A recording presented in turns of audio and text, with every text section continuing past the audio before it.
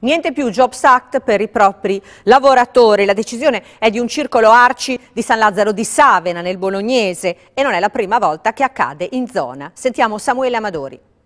Non è la prima volta che accade, ma in questo caso la rinuncia all'applicazione del Jobs Act ha un valore fortemente simbolico. Il Circolo Arci di San Lazzaro di Savena, uno dei più grandi d'Italia, ha deciso di siglare un accordo con la CGL per eliminare tutti gli elementi peggiorativi della legge 92 e ripristinare le tutele dei 26 lavoratori. Sono previsti degli impegni tra le parti nelle quali il Circolo si impegna a non procedere nei, verso i licenziamenti in modo unilaterale, nemmeno verso i demansionamenti e nemmeno verso dei controlli di videosorveglianza con i lavoratori. Quindi funziona come un contratto integrativo? Certo, questo accordo è un accordo che non ha soltanto una valenza politica ma anche una valenza giuridica, quindi in questo caso le aziende rispetto alle norme che abbiamo all'interno di questo accordo si potranno muovere diversamente a quanto previsto in materia dal Jobs Act. Dicono che siamo il circo più grande d'Italia, quindi eh, speriamo di, di dare continuità a questa cosa anche per altri circoli più piccoli che si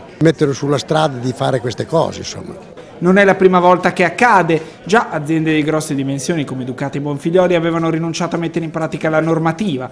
Ora il piano dell'Arci di Bologna è quello di allargare l'accordo a tutti gli altri circoli sul territorio.